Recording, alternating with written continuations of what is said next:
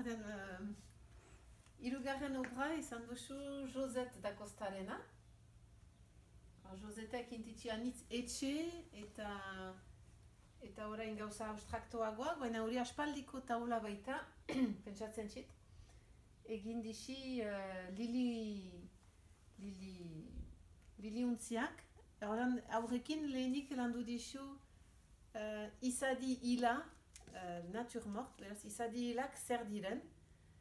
Eta beraz hasiko ginela baten tindatzen. Horren gu hasigitzu lili untzi bat hartzen, lili sorta eder bat uh, sortzen. Eta gelan, um, eman gitzu hori so, tindatu beharrez, begiek ikusten zutena.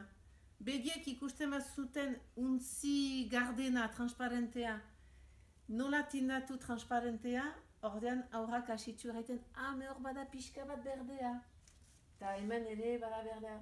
Baina gero baduzu pixkat urdina, pixka bat, eta berezia zuzun tindatzea uh, untzian, pentsatzen ez ziren koloriak urdina, eta onduan berdea, eta onduan be, beste bat, eta ubela, berdin, eta hori zuzun gure untzi transparentea.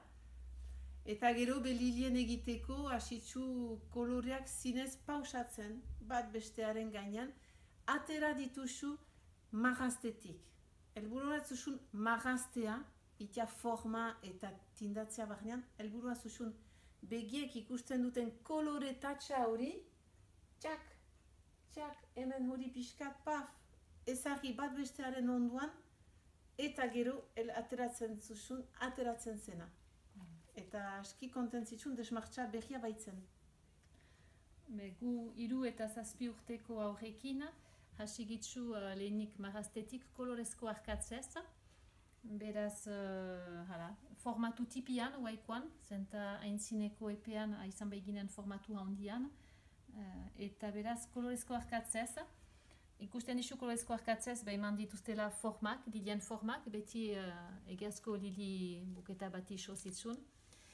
Eta ondoko ratxan zuzun hor tinduz egitea. Eta tinduz, uh, midentzuk uh, erranduena intzin, uh, hala, elburua zuzun gehiago koloren pausatzea, ikusten zituzten bezala, uh, hala, parian zuten lili buketan.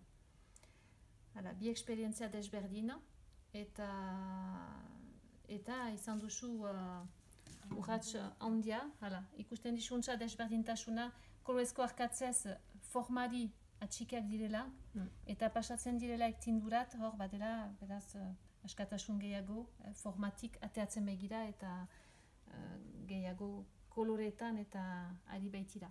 Mm.